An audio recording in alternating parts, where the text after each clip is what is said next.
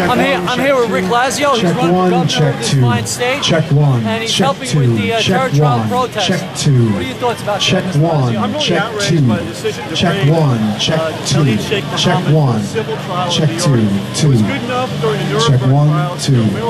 One, two. to prosecute those cases. One, the idea of two. giving the mastermind of, of the plot to take down America, take down New York, kill thousands of innocent civilians, give him a platform to be able to spew their hate and to build a bigger platform is an outrage to me. It's not going to happen if good people come out. Some people thought this would be a one-day story. It's not going to be a one-day story.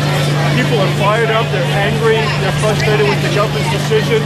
It's not going to happen. It's not happening today. It's not happening next year. It's not happening ever. And you're going to see that people are going to come from. I see people here from all parts of the Northeast that come in.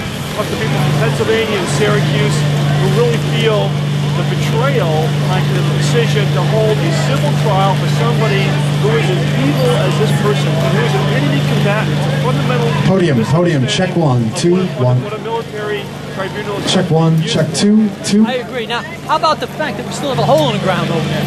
It's, it's, it's another outrage, honestly. You know, we talked about this before, about how in the middle of the Depression, there was a, a dedicated band of construction workers.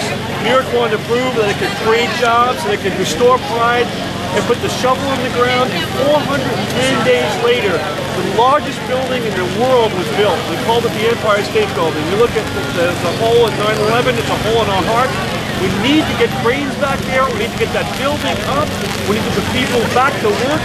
We need economic activity. We need to show these terrorists that America is strong, will never back off, and is always growing, always moving ahead. We've got strength because we've got the spirit with us. We've got the heart with us, and we've got a great system of government. We just need to clear barriers and get positive and not take no for an answer. I think we can whip up that unity that we had almost a decade ago. I agree. I agree. You can And also, out sir, there. I want to wish you luck. Thank you very much. I'm honored to have Thank you, Mr. Lazio. Thank you. Thank you, guys.